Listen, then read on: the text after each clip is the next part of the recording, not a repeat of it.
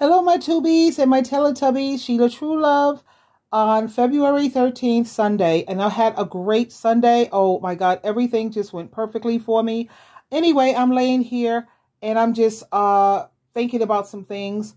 And I'm thinking about how a lot of people in this world, they tend to take offense to a lot of things when you don't mean to offend them.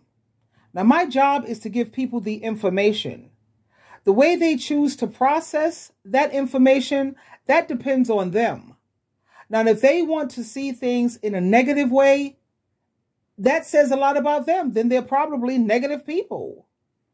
When you say things to people and you did not have any intention of hurting them or offending them, and you're giving them constructive uh, advice, I don't like to say constructive criticism because I don't like the idea of using that word criticism.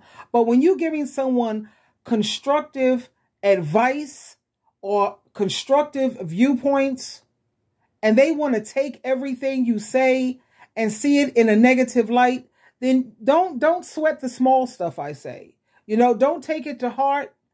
I'm at the point, I'm at the stage in my life where I give you the information I'm a paid advice coach. People pay to ask for my advice. They want to talk to me. They they see my channel. They like my viewpoint, so they want to talk to me further.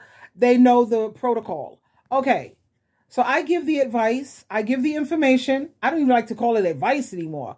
I give you the information, what you choose to do with it, that's on you. That's your decision. Because I've come across so many people who are overly sensitive and they need to get some uh, professional help to help them get past that or join a support group or something because a lot of people are getting tired of having to talk on eggshells.